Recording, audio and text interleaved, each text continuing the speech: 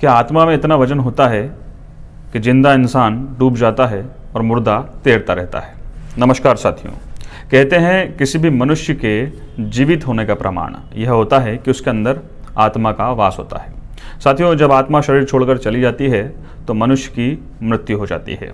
सवाल यह है कि आत्मा में कितना वज़न होता है?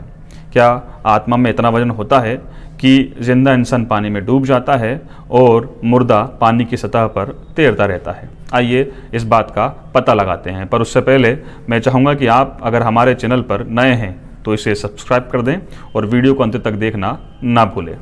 साथियों, ये एक महत्वपूर्ण प्रश्न है कि जब कई इंसानों को ले जाने वाली नाव पानी में नहीं डूबती तो फिर नाव के बिना एक इंसान पानी में क्यों डूब जाता है? साथियों पानी में केवल वही वस्तु डूब पाती है जिसका घनत्व, यानी डेंसिटी पानी से अधिक होता है। जी हाँ लकड़ी का घनत्व हमेशा पानी से कम होता है, इसलिए वह पानी के ऊपर तैरती रहती है। लकड़ी के आयतन के अनुसार, यानी कि वॉल्यूम के अनुसार, उस पर वज़न रखा जा सकता है, फिर चाहे वह कोई मनुष्य हो या वस्तु। इंसान के शरीर का घनत्व, यानी कि डेंसिटी 1.08 होता है, जबकि पानी का घनत्व, पानी की डेंसिटी 1.01 होती है। साथियों यही कारण है कि इंसान का शरीर पानी में डूब जाता है।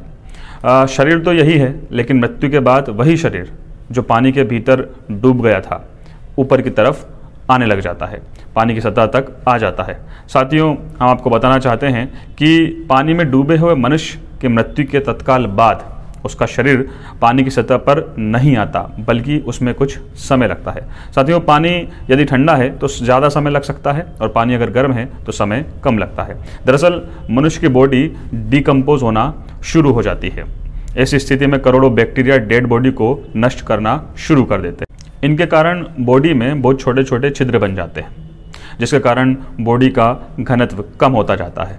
अब जैसे ही बॉडी का घनत्व यानी कि डेंसिटी 1.01 से कम होती है तो पानी की सतह पर आना शुरू हो जाती है। कुल मिलाकर सारा खेल घनत्व का है, यानी कि डेंसिटी का है। आत्मा का इससे कोई संबंध नहीं है।